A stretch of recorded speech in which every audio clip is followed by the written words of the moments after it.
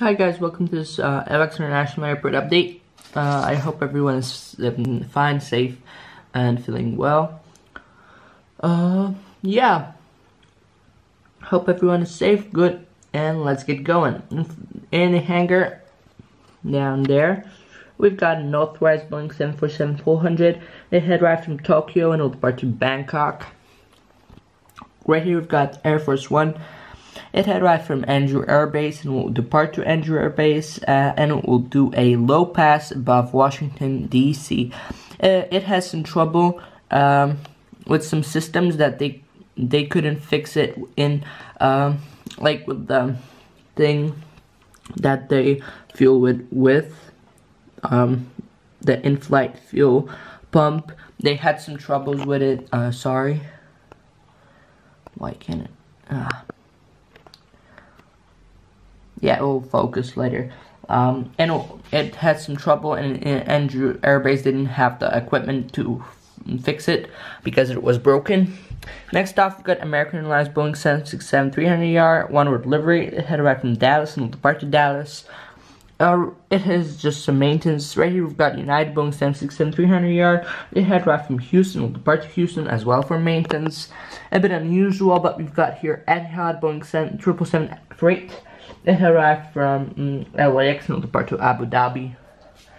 Uh, next off, we've got Southwest Boeing 737 800.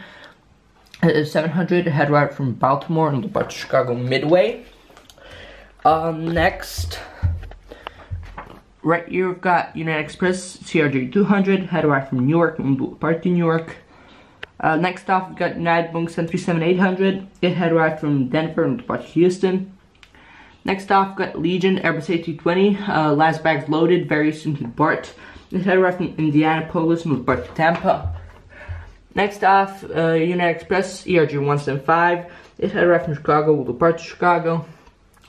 Last but not least, for the terminal, we've got American Eagle, uh, American Allegheny livery Airbus A319. It had arrived from Miami, will depart to Boston. Right here, just ready to Depart. We've got uh, American Eagle, ERJ175, and head right from Dallas and depart to Dallas.